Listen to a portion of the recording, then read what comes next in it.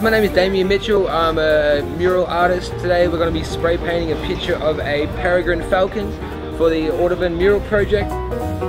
I had seen a couple of friends of mine who are also painters that done walls up here.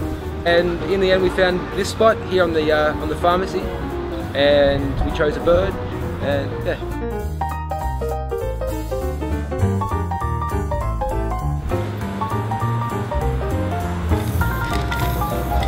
The art is beautiful. He's really getting it done in no time and I could already see it coming to life.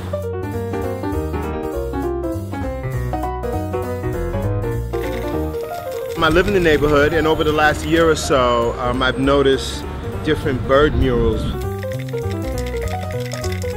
I come from a street art background and it's great to see this happening in the neighborhood.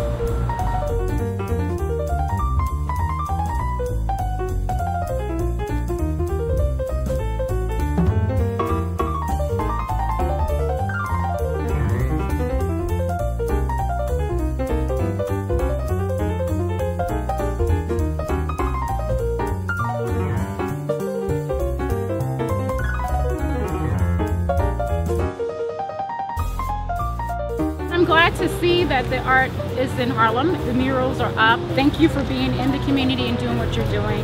And I hope it, it spreads out to other communities. Keep art alive.